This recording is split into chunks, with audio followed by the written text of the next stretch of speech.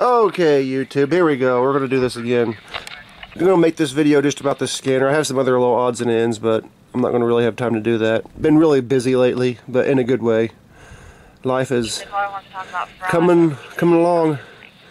So, this is my Whistler TRX-1 that I just got in today.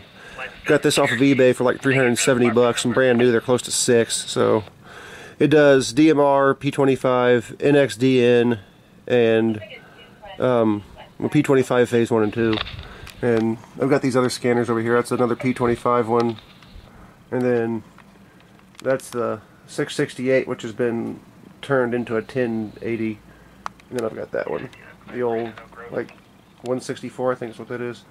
So this one receives a lot more, and it's a little more portable than that 164. Because the 164, the battery compartment's gone.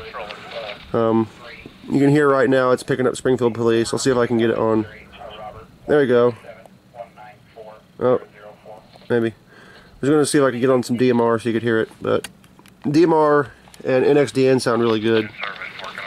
Um, you can hear the other scanner picking it up too.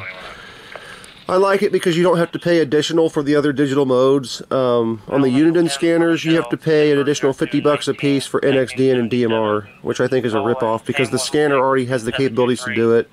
You're just buying a license key type thing to unlock it, and I think it's complete bullshit, but hey, whatever.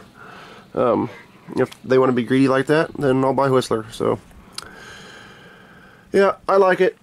Figured I'd show that off, make a new video. So, thanks for watching.